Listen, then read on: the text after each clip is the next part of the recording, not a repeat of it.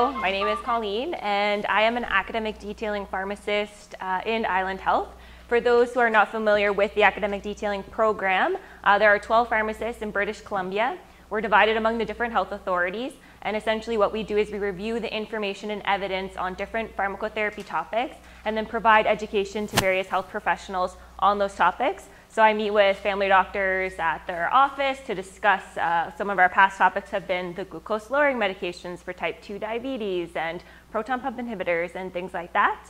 Uh, for the topic that I'm here to discuss today, uh, we partnered with Dr. Blondel-Hill and the Bugs and Drugs group and kind of ventured into long-term care. So normally we meet with uh, just prescribers, uh, but for, for this topic we've been meeting with uh, nurses, care aides, and all the different health professionals in long-term care to bring some information forward on asymptomatic bacteria and UTIs.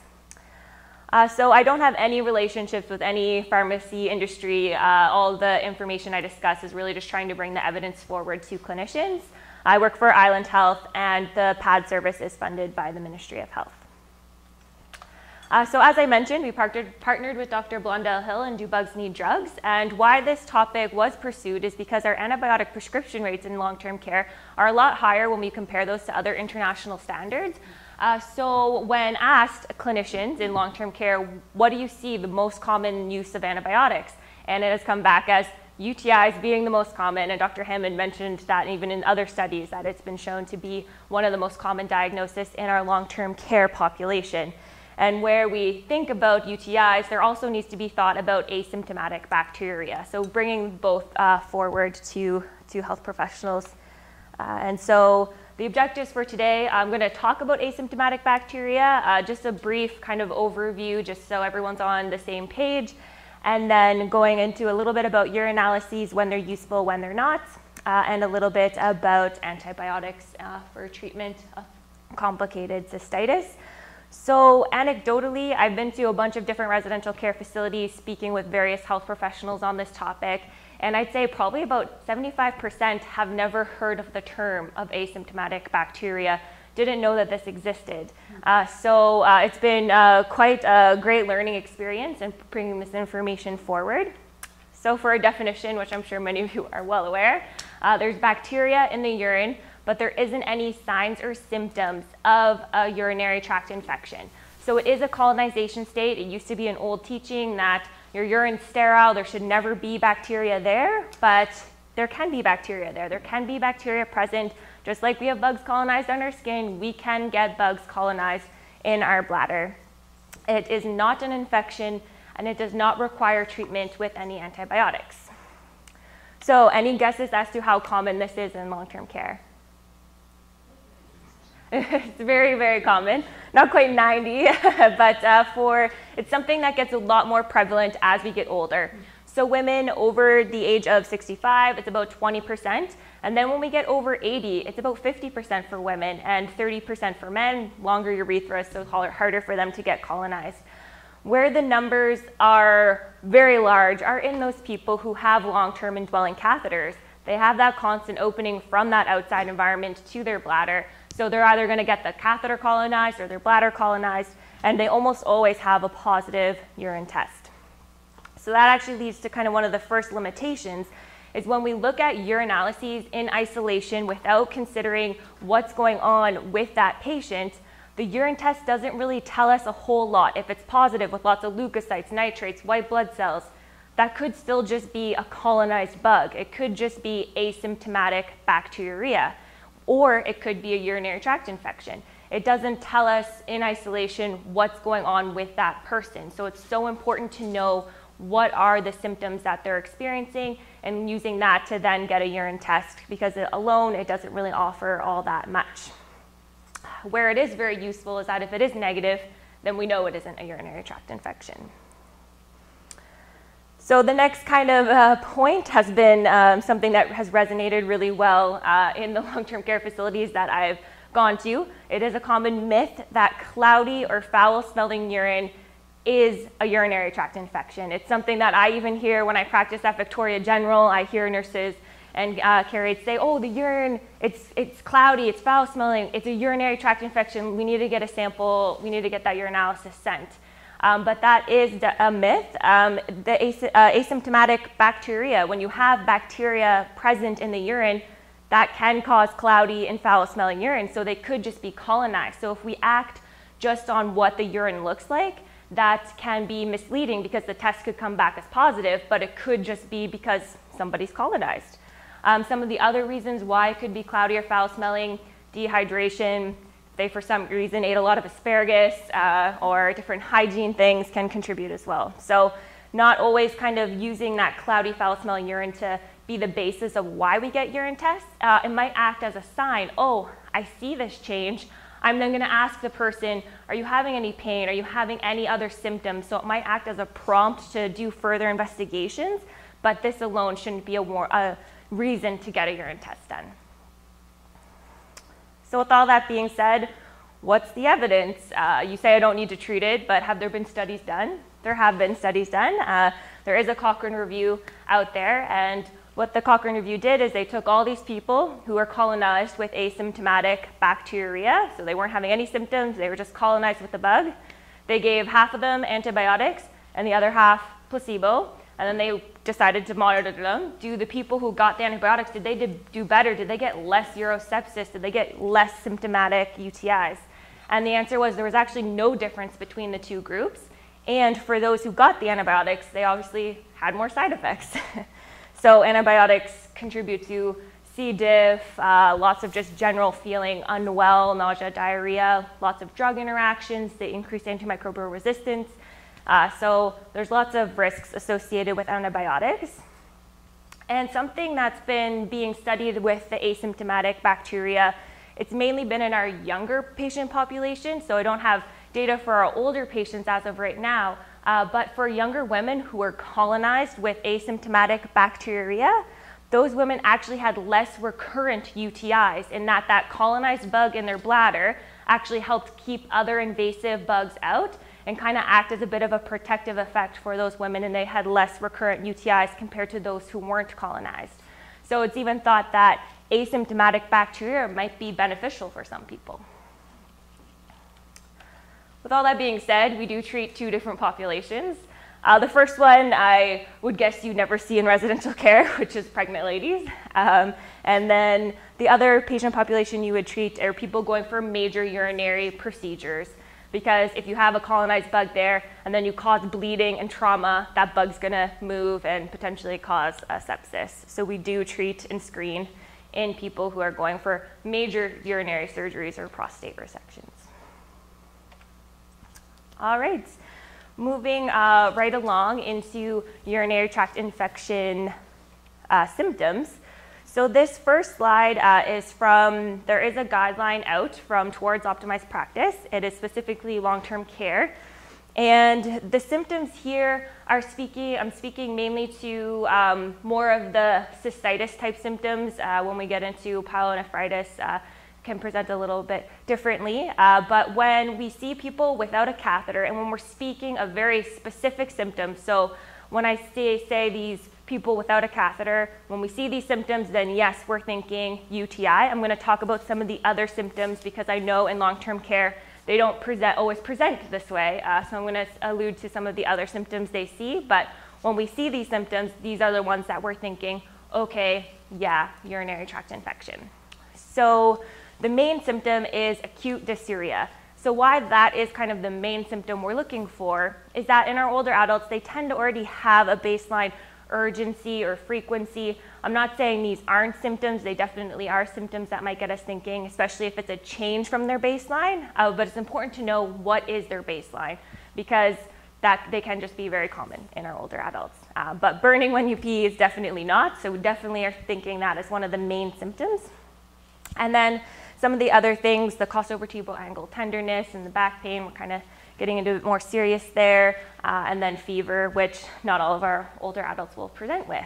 Um, where it gets difficult is when patients have a catheter in place. So as I mentioned, almost all the people with a catheter are already colonized. So if we get a urine sample for someone who we think might have a UTI, um, the people with catheter, they don't present with burning when they pee because essentially they have that catheter that's draining their bladder. They don't get those specific UTI symptoms.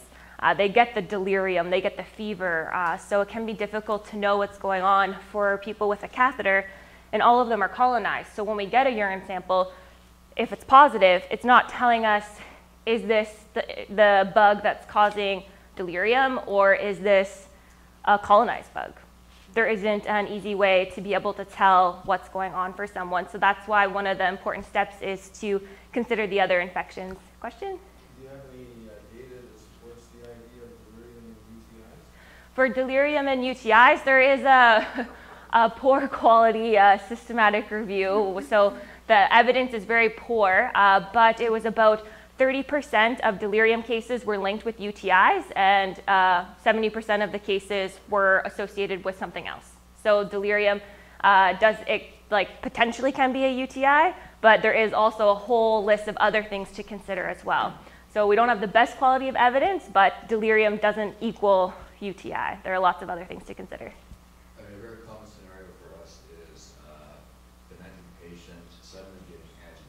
Mm-hmm. Somebody decides, let's do a urine culture. Yeah. Yeah, exactly. So that is kind of falls under all of these non-specific symptoms. Those behavior changes, a confusion, a delirium. It's one of those things that sometimes these changes are associated with a UTI, but sometimes they're also not, and there are lists of other things that we should be considering. Uh, so uh, just some general ones, uh, dehydration can be contributing. Um, changes in medications is a big one. If we've added something or taken something away, that can cause behavior changes or confusion. Also, uh, pain is another one for behavior changes. So there are lots of different things, other infections, um, low oxygen, low blood sugars in our diabetics. And there are different resources that are being used to try and educate staff about it's been one of those things we always jump to the urine first but so many people are colonized that that urine can be very misleading. It could comes back positive but it really might not be the source. So there are lots of things to consider. This acronym i think is kind of terrible. It's called i watch death but it's all the different things to consider uh, for delirium, what could be causing delirium? And I know um, as, at the island health facilities, the clinical nurse educators have been providing this education to staff um, because there are infections is just one piece of the potential puzzle for delirium. Um, so it's one of those things we always want to get find the problem right away, and we might be jumping to the urine too quickly uh, because so many people are colonized. Uh, there is another algorithm out there that is from uh, Ontario Public Health, and the algorithm's a little nicer. It's for delirium, the algorithm's deliriums. Uh, so thinking like dehydration, drugs, uh, drugs are definitely a big one to consider. And then there's just a whole slew of other things to be considering that could be causing this delirium. And uh, I just have this quote up here because uh, non-specific symptoms are just that, non-specific. They can be present in any number of other infections or non-infectious conditions and therefore have low positive predictive value. When we get into this jumping right to this one potential cause, uh, we could be misdiagnosing, we could be forgetting something else. It's common to jump to the urine, but so many people um, are colonized. Um, so just by chance alone, they could have a delirium and be colonized, and we're missing what is the actual cause uh, of the problem here. So with all that being said, I do have two uh, quick little cases just to kind of highlight the points I've discussed so far. So both of them were published in JAMA Internal Medicine and both were published this year. It's been a topic that's gotten a lot of kind of publications as of 2016. Um, so the first one's a little less applicable to long-term care, but the second one is definitely more applicable. Uh, so the first one is a 64-year-old woman. She uh, was on narcotics for back pain and decided, I'm going to stop taking these cold turkey just stopped her narcotics, which was not a good idea. So she was going through narcotic withdrawal. So she presented to Emerge. And when she was in Emerge, they took a history. They knew exactly why she was there. You're going through narcotic withdrawal. Uh, but while she was there, they did a chest x-ray and a urinalysis, just as a kind of standard protocol. Uh, her urinalysis came back with lots of leukocytes, lots of white blood cells, and they were like, oh, by the way, while you're going through this narcotic withdrawal, you also have a UTI. So we're going to treat that. So they gave her antibiotics. She went home. Four days into her seven day course of antibiotics, she started getting severe diarrhea, going more than 10 times a day, spiked a fever, was admitted to hospital with C. diff. So this is a case of where they did this urine screening. She didn't have any symptoms of a UTI, didn't need to get a urine test done, but the urine test was done because she just came into emerge trying to figure out what was going on, but they knew it was the narcotic withdrawal uh, and then ended up getting antibiotics when she just had asymptomatic bacteriuria. The second case is an 85 year old gentleman from long term care. He had a chronic indwelling catheter, and he's been one to be flagged with he has recurrent UTIs. So uh, he had just a normal day at the facility, and this gentleman started falling. And so they did, they were like, oh, well, there's these new falls. He must have a UTI. Did a urinalysis, came back with a very resistant bug. They actually put him on imipenem to treat this UTI. Seven days later, no change, still falling, nothing had changed for this gentleman. So they actually shipped him off to Emerge at this point. And uh, when they were in Emerge, they're reviewing the patient, and it was found that two days before the falls had started, he had started a medication, donepezil, which lowered his heart rate and was causing the falls. So he was a catheterized patient. He was going to grow something anyways when they did the urine test. And it so happened he got seven days of imipenem that he did not need. And we delayed finding out what the actual problem was, which was this new medication that was added. All right, so transitioning into the antibiotics for treatment. So I'll just reiterating, it's really based on the symptoms, uh, those non-specific symptoms, sometimes they are caused by a UTI, but sometimes they're not. So just kind of making sure we review and kind of consider UTI and one of our, one of our last things on, on our list. If someone is really unwell, then yeah, and if they have a pyelonephritis, you may need IV antibiotics and may need to transfer to a different level of care. So the antibiotics I'm going to be talking about are uh, the oral antibiotics for those with just a complicated cystitis, so not really going into that pyelonephritis picture. So our antibiotic options in long-term care uh, are limited. Uh, you're going to see the choices which may come as a surprise uh, in the next few slides. But really, there's lots of resistance in our older adults just from constant being, constantly being exposed to antibiotics. There's lots of different uropathogens. In our young women, it's almost always E. coli, but as we get older, uh, there's different bugs implicated. And also, I mentioned they're just considered complicated pictures. So for the uropathogens, E. coli is still the most common, but the second most common is Klebsiella pneumoniae. Um, also, when we think about men, they have different bugs involved, Proteus morganella being some of the ones you might consider. And then when people are flagged with having recurrent UTIs or like get a lot of UTIs. Um, sometimes it's other gram negatives besides E. coli, and then sometimes we're getting into more of the gram positive bugs as well. So just some of the things to consider. Where does uh, your person fall, and kind of using this to guide uh, antibiotic selection. Uh, and then I just throw this up here for the complicated cystitis picture, uh, men, immunocompromised, uncontrolled diabetics, people with catheters, a lot of our older adults in residential care fall under uh, this blanket. All right, so empiric options, amoxicillin clavulanic acid, uh, 875 BID, or you could do the 500 TID as well. Uh, the cefixime, 400 milligrams daily, and Septra. Um, so I was wondering, are there any antibiotics that you see a lot and are wondering why they aren't on this list, or antibiotics you use a lot in empirically in long-term care? Nitrofurantoin?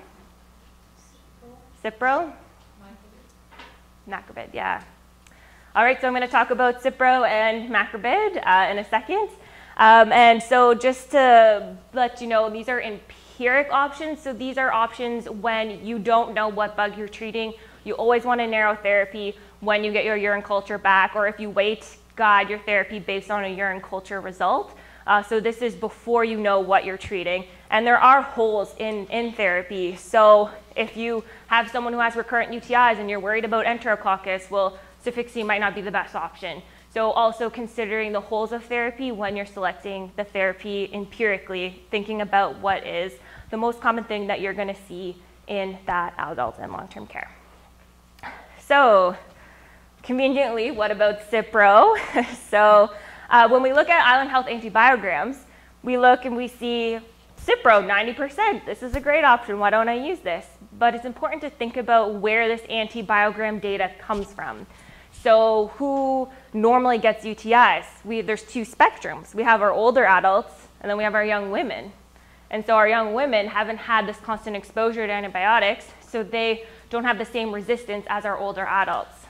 So when we look at data in our older adults compared to our younger adults for Cipro and E. coli, you can see the 20 to, to 40 year olds, it's about 10% resistance of Cipro to E. coli in BC.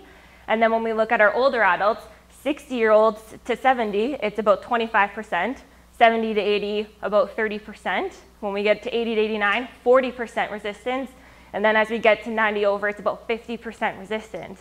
So when we think about the resistance rates uh, for Cipro uh, and for E. coli, if we have these older adults, like a third to 50% of the time, it might not be working empirically when we don't have that culture result back, makes it not the greatest option uh, empirically because of resistance rates.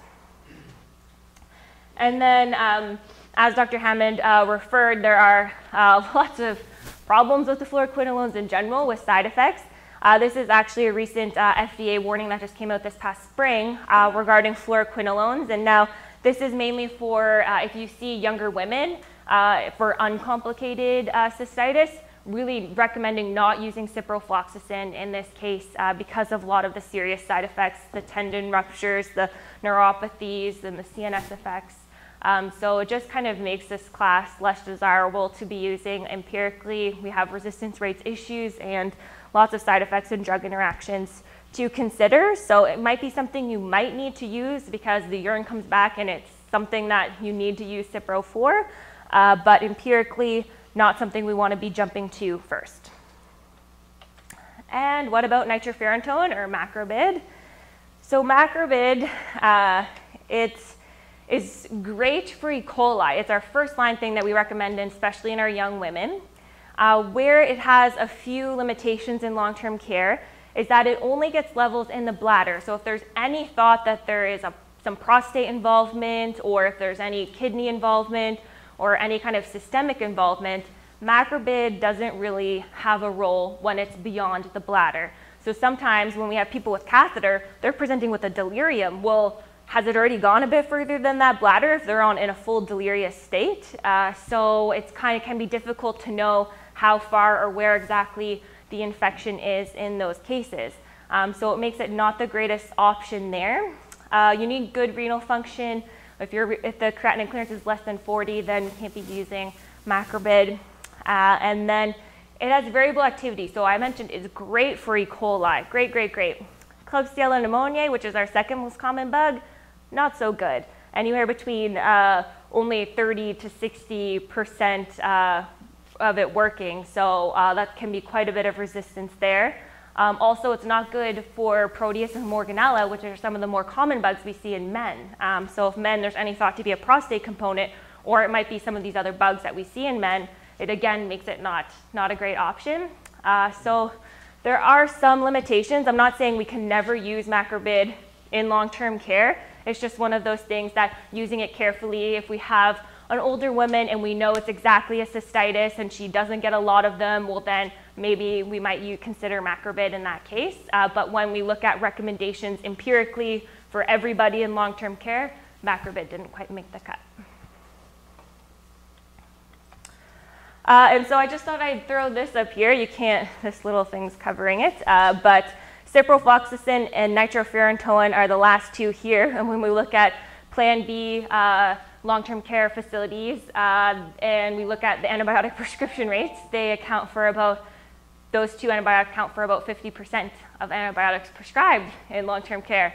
Uh, so they're being used, used a lot, so I just thought I'd uh, throw that up there.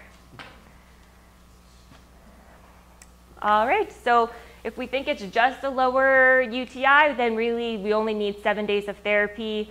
Um, and one of the kind of monitoring perspectives is if you're starting antibiotics and then in 48 hours your improvement, we need to be thinking, did we pick the wrong antibiotic Or did we make the wrong diagnosis? Was this someone who had asymptomatic bacteria and then we ended up treating it and there's actually something else going on? So, just kind of thinking about that from the monitoring perspective, we should see some kind of change. Uh, and then I have the comment here long term prophylaxis is not recommended. So, a once daily antibiotic to prevent UTIs in long term care is something that's generally not recommended. Um, and especially not using macrobid uh, for this. Uh, macrobid, when used for more than six months, has been linked with some serious lung complications, and I've heard of a few lung transplants in BC due to long-term macrobid use. So something to consider there. It normally, yeah, long-term prophylaxis normally kind of just contributes to resistance and ends up kind of knocking an option out for that person. Uh, I already mentioned the risks of antibiotics, so I won't really spend time there. Uh, and just to let you know, uh, the Towards Optimized Practice guideline also has an algorithm to try and get um, healthcare staff thinking more about those specific UTI symptoms before getting uh, a urine culture or urinalysis done. Um, and I know uh, Island Health has recently updated their guidelines on UTIs in residential care, trying to, again, focus more on the specifics and getting rid of things like cloudy and foul smelling urine as a UTI. So it's great that we're making some changes there. And also, just to let you know, this is a new campaign that launched uh, from the Association of Medical Microbiology Infectious Disease Canada. I see everyone laughing from the title, Symptom Free Pee, Let It Be. Uh, so it's uh, something that actually just launched uh, November 14th, uh, but just increasing awareness about inappropriate antibiotic use and just considering uh, the different kind of stoplights. If it's if we it's just cloudy urine, don't get any urine tests. Uh, if it's a symptom that's not quite a UTI symptom, let's consider what else it could be. And then if it is specific urine symptoms, then yeah, go ahead with that urinalysis. Uh, I just wanted to mention one thing briefly uh, because one of the challenges that uh, when I've discussed this topic in residential care has been family members. They are the one pushing for getting urine tests. They're the ones that are having a big say in kind of getting certain tests ordered. Uh, so one of the that can be something that's difficult if it is one of those scenarios where you're ruling out other things before you go to that urine just letting that family know you recognize there's a change in their loved one, but you don't want to give antibiotics unless they're absolutely necessary, and you are doing other things to make sure you get the right diagnosis, um, and educating them that there could be just that asymptomatic bacteria. Uh, a good way to get family involved is if they're spending time with that loved one, getting them to get them hydrated, getting them to nag them, drink that water, uh, because Dehydration is a big, is a big problem in long-term care, which contributes to a lot of these symptoms. And also, even if it was a UTI, hydration is important anyways. So uh, it's just one of those good things that if they are concerned, that's a, a way to get them to help and get involved. Uh, just to let you know, there are some uh, handouts available uh, for the treatment of both uncomplicated cystitis and complicated cystitis in long-term care, and a handout on asymptomatic bacteria available from bcpad.ca. Uh, and in summation, uh, so our older adults are frequently colonized with bacteria in their urine, can cause cloudy, foul-smelling urine, positive urine tests, but doesn't need to be treated unless they have specific symptoms. Um, so if they have non-specific symptoms, just considering what else it could be, it might be a UTI, but just kind of thinking about what else could be contributing because not all delirium or those non-specific symptoms are UTI. And there are harms with antibiotics, so just considering that before prescribing. And so uh, I open the floor to any questions, but there's also my email address if you do come up with any questions later, or if uh, this is something that you're interested in having some education at the site that you work at, I can also come in and discuss this information with other healthcare professionals. Yeah. How does a urinalysis help you if you have symptoms and a positive culture? So if you have specific symptoms of a UTI, then the urinalysis is confirming that it is, uh, and then the urine culture can guide therapy. So that's where the urinalysis is beneficial. It's confirming that you do, okay, yeah, it is a UTI because they have specific UTI symptoms. It's just when you look at the urine test alone, it doesn't really offer that much help. And then in our younger women, uh, it's doing just a dipstick or other things like that, and not always pursuing urine cultures is also something that can be done when it's very specific symptoms. Can I just say? Yeah. I think the urinalysis might help you sometimes if the urinalysis is completely negative. So Yeah. Some patients, that helps tell you, oh. Oh, it's not a just UTI. Asymptomatic bacteriuria. And then you have to go looking for some other cause for the symptom. But the urinalysis has no pyuria. Yeah. How how a negative is negative? So is that like zero down the line, down down the rows, like Yeah. zero zero zero zero, or you know, we'll accept a little red blood cells, a little leukocytes. Yeah, it depends on prior, you know, what they've had in the past and if there's a change and. um, Two to ten white blood cells is Yeah. not It's enough. pretty, No. pretty much Okay. negative, yeah. All right. Yeah. Um, you're on call, it's Saturday, you're a quiet day, you call to Aberdeen, the person's got a catheter, he's got a temperature of thirty-eight seven, he's about, he's a quadriplegic with, uh, he's about sixty-four, he's compos mentis, do you transfer? She's not a doctor. That's not fair. we'll uh, we'll give it to one of the infectious disease guys. What do you guys think? Uh, well, I probably wouldn't if he's just febrile. He's, uh, you know, if he's not doesn't have signs of SIRS, you know, if his if his Yeah. tachycardia, tachypnea, and fever aren't too bad, and if he's if His heart rate's a hundred. yeah, so if he's mentating fine um, at that time uh, and his blood pressure's okay, uh, I probably would not transfer. him. Uh, you could you could start him on an empiric uh, treatment, um, uh, it, you know, uh, with an oral beta lactam and see and see how things go. Um, I think you've got a bit of time on your side. Um, It turned out he had a white count of thirty thousand, he was admitted. oh, yeah. So Wow, were you ever hung out to dry there? Sorry about that.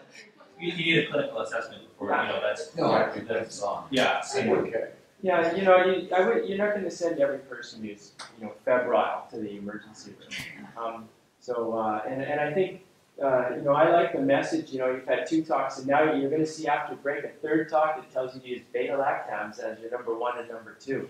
And, uh, and, and I, I really think, you know, most of the time you have to give it a go uh, with uh, empiric therapy. And that's the thing with UTI. Um, you, um, you're not going to know the answer for two days. Um, so a lot of it there has to do with uh, how's what's happened to them in the past. And we've all seen those patients where they go down fast. Like I've seen some patients, they just have a history of go, going uroseptic and going shocky really quick.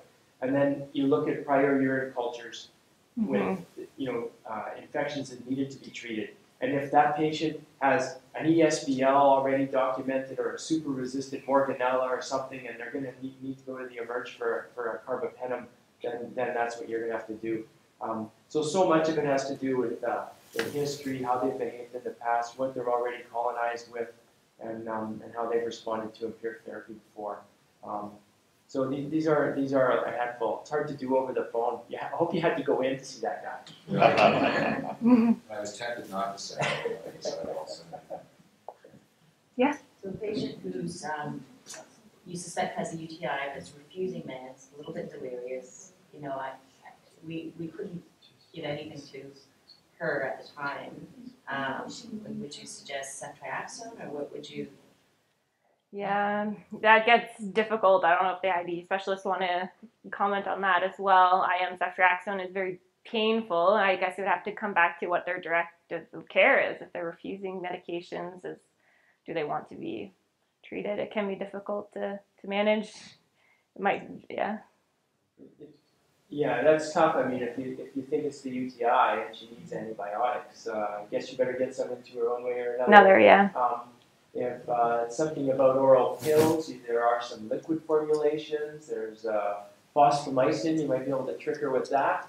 Um, Juice. And other than that, uh, you know, yes, I agree. I think ceftriaxone um, uh, would be a reasonable IM thing to do to maybe, you know, see if she gets better after 24 hours of treatment, switch over to that. Uh, I do see people still continue to use gentamicin um, uh, if, for this reason, for injection, and you could consider that too if, uh, if you know, she didn't have risk factors for that. I would think that none of us would treat any of your patients with a full course of gentamicin these days, but just to try to get her to turn the corner and, and uh, improve enough to go on a more reasonable, less toxic medications, to maybe 48 hours of gent, you could consider that too. If she if she had no risk factors, you have to be very careful. Yeah. These patients, she's probably dehydrated, and if you load her up with gentamicin, the levels are going to be unpredictable. Toxicity is, is definitely possible, even even with 48 hours of treatment. So with Genta, you have to always do kidney. function. Well, you should already have an idea of what her kidney function is from before, uh, and uh, that alone will probably scare you off after time. Uh, and, then, and then, and then, yeah, depending on how sick she is now, how sick and dehydrated she is now, you, you probably should have a baseline, a, a creatinine before I'd embark even on 48 hours of Genta. I don't But then, yeah, you're talking about like a single dose. Yeah, a so sing- a you don't need couple to do doses. levels, you don't need to Yeah. do, it's like a, a Yeah. single a dose. single dose you could give. So, like, uh, there is a wide spectrum, like asymptomatic, but this uh, bacteria, UTI, and there are other variety of UTIs like, uh, like recurrent UTIs and prostatitis, like a bacterial prostatic infection. So when they will need longer antibiotics course. So can you touch on that one, please? uh, about the longer antibiotics for prostatitis. Yes. Um, I don't know if the Yeah, ID it's doctor. Yeah, so prostatitis is, is a big problem, and you, anytime you're dealing with a, a urinary tract infection in male, you have to consider is there prostate involvement, and and that's why in you know young women you can treat uncomplicated cystitis for very short courses, but essentially never in men can you get away with that because you're always worried that there's prostate Involvement. So, you know, when to consider prostate involvement in a male UTI. Um, so if, if they develop new obstructive symptoms, uh, if they have deep pelvic pain, uh, rectal pain, you infer these are suggestions of acute prostatitis. More in long-term care, what you're going to see is, is worried about chronic prostatitis. And you can you can read ridiculous things like the three-slide test, which I don't think anyone, you know, where you get three samples of urine after prostate massage and all. Really, the key in in an elderly man about recur, about chronic prostatitis is to keep getting the urinary tract infection with the mm-hmm. same bug over and over and over again. Yeah. You treat them, they get better, and then it's back again. And that's a big warning that you have uh, chronic prostatitis. And you're right, in, in those cases, you need to treat them for quite prolonged periods of time, like at least four weeks.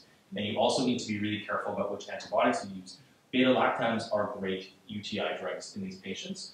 Beta lactams don't get into the prostate very well. So you do like to reach for Cipro, Septra, tetracyclines. These get into the prostate tissue better. Um, and then you're talking about a four, a six week course, something very prolonged to try and eradicate. Um, so you don't need to treat every man with the urinary tract infection like he has prostatitis, um, but they all need at least two weeks of therapy in, a man. And if they're having recurrences or other symptoms um, to suggest prostate involvement, then think about extending that course out. And then you do want to reach for some sort of different drugs just for tissue penetration. Can I make a concept comment? Just you were talking about the, the catheterized patients. Mm-hmm. I think the key with the catheterized patient is never send any urine, Urine from the yes. catheter. It's utterly and completely useless. Yes. If you're concerned, they have to swap the Foley and draw from the fresh Foley catheter Yeah. and, and get the urine and get away from the inflammation and the bugs that are on the catheter. Um, the, the lab sh- honestly should just, if they ever see that it came from a Foley indwelling, just cancel it because it's always going to have bugs and always going to have inflammation. One of the things we did for a patient of mine who had MS, we basically had a protocol because he was, he Mhm. had urosepsis, you know, every three months. So we ended up doing a protocol where the nurses, it was very, very clear how you collected the urine, what you started on prophylactically, you know, and, and just so that he wouldn't end up going to the hospital. He often did, but that we started that. Um, it seemed to work really well because there was some confusion with the nursing staff about what to do with the catheter and how Yeah. to collect the urine. Can you comment on fosfomycin then, as like Yeah. how useful is that and would you use that or would you cefuroxime or oral? Um, so phosphomycin is one of those ones again where it's only for uncomplicated cystitis. Um, so if it's just bladder involvement, it is a potential option. Um, I know there's been it's good for for ESBL, and so we don't want to get into overuse of it. Uh, like no, we don't want to get into any getting resistance to phosphomycin. Um, but in the uncomplicated cystitis picture where it's just the bladder, it is a potential a potential option.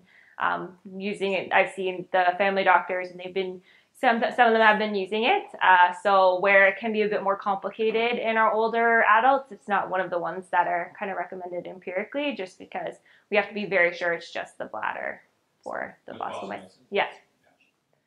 Yeah. I'd say, um, you, you know, here in Victoria, so Life Labs is routinely reporting phosphomycin on the ESBL and broadly resistant coliforms. Uh, VHA often doesn't report it, but if you phone, they'll give you the result. Um, and, um, and, and I agree, uh, that's what it's licensed for, but it's being, there's lots of off-label Mhm. use. Yeah. Um, but that's usually us uh, getting sort of uh, creative and tr- trying to treat patients who have more complex problems where IV isn't really an option.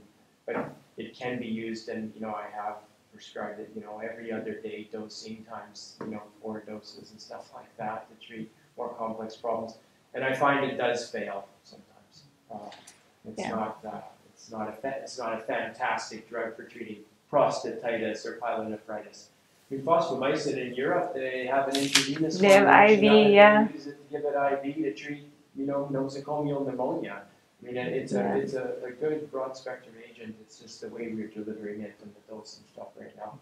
Um, but, uh, it does play a role, uh, in the, in the ESBL patients, you. if you- Yeah, if de- you- definitely a big keep role. them out of the emerge, because there's many ESBLs where that's the only oral agent that's gonna work. Mhm. Are you doing the needle aspiration of the catheter? Uh, no, it's- so you swap it and then, uh, the, the First port sample. on the side, you, you can draw it, right? So, Okay. but it- it's just, the whole thing is covered in bugs, Already. twenty-four, forty-eight hours, Right.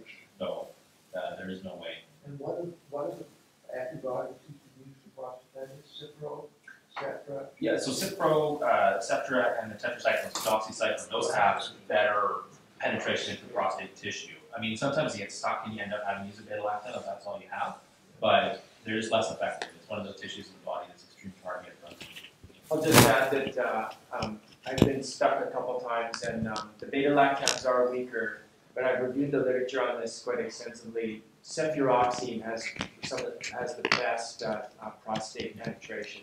Better than Cefixime. And I just recently cured a guy with Cefixime that had lots of problems. So it works. It's just, you know, you may have to go a bit longer to really get So is uh, fosfomycin Proteus mirabilis uh, resistant? Proteus. Fosfomycin is it? I think most of these sensitive. Sensitive, yeah. I think. Proteus is one of those indole ones, so the Pro- Proteus and Morganella, they can be quite resistant, some of those sometimes, so they- I think um, phosphomycin will be a drug you might have to go to in some of those. But it should be reported, and I- like I said, Life Labs will report it, VHAL will report it too, but you might have to phone them uh, to get it. Because I'm in a very uh, elderly, and I do very little antibiotic with her because she has a very long history of celiac. So she has Proteus mirabilis, I tried twice, I can A lot of Proteus, uh, yeah, Mirabilis is actually quite sensitive most of the time. Okay. Great. Lots of learning. Thank you so much.